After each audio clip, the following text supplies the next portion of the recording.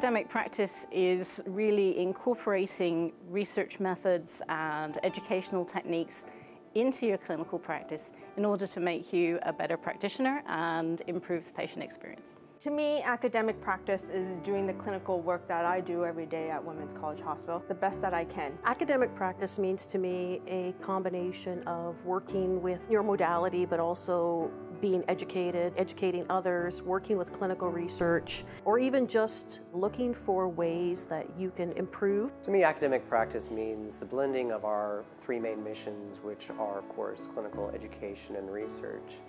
And I think the one thing that really unites those three missions is uh, the sense of curiosity. Uh, curiosity for how the world works, you know, what we're seeing on the images, how we can make the images better, how we can improve the patient's outcome.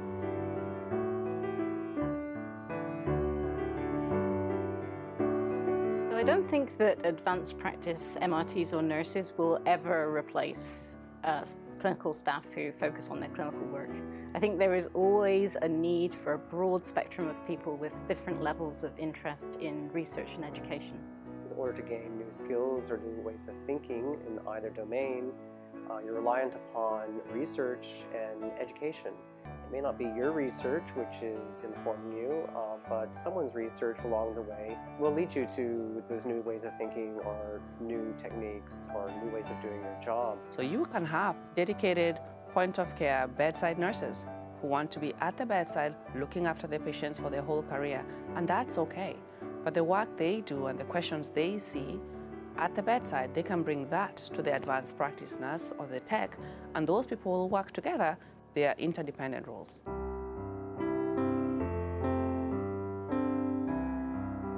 There's huge value in building academic practice culture in JDMI. It's twofold. It does benefit the patient because we will be on the cutting edge doing the right thing for the patient at the right time, regardless of what modality it is. But it also benefits the staff. The staff are very engaged in the care that they provide, and they certainly benefit both personally from the satisfaction that they gain and professionally. But most importantly, for the patients, the improvements we make will make the patient go through a better experience in the care that we provide for them.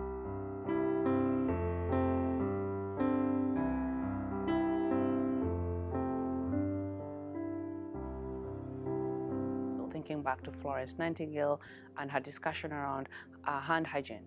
So it, it's a very old concept, so maybe she didn't publish anything, but she was very clear when she spoke to the nurses in, within her unit to say, you must wash hands when you're looking after patients. My opinion, JDMI is academic practice. This is our mission. I think academic practice uh, fits in the JDMI at all levels. I think a lot of people think that it's just at the physician level, where they provide all their educational speeches and presentations, which I find are, are very useful. But um, at the level of the technologist or clerical, they can also guide and lead change as well. I think every technologist can have some sort of academic practice in their day-to-day activity. Can you help me? Does this seem like a valid project? How do I do a poster on this? What steps? I think we all do great work individually, but if we can, as a group together, strive to do even more and make more improvements in the work that we do, I think can't imagine what we can do with that.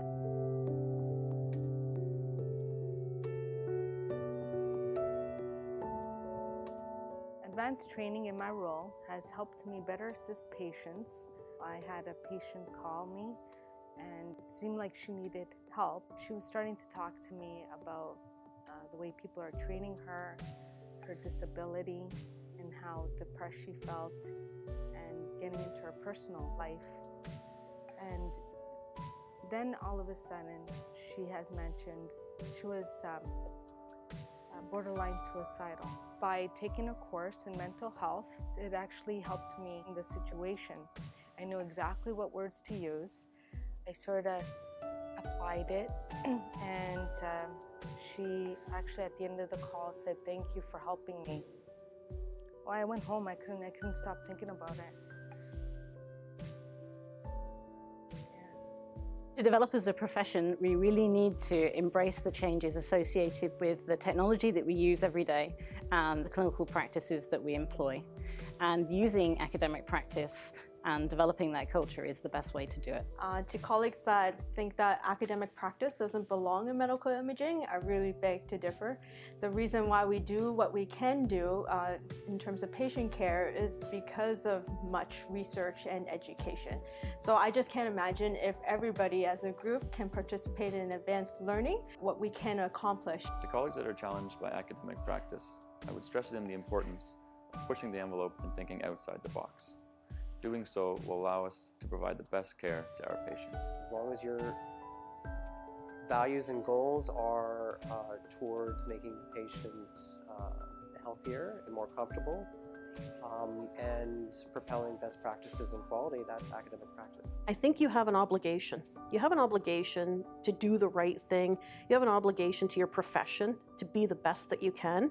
And it, it, there's a scope to it. You can go to the end where you are doing tons of presentations or writing papers, but you can also go on a small scope where you're just looking at your day to day operations and going to your supervisor and saying, What if we change this?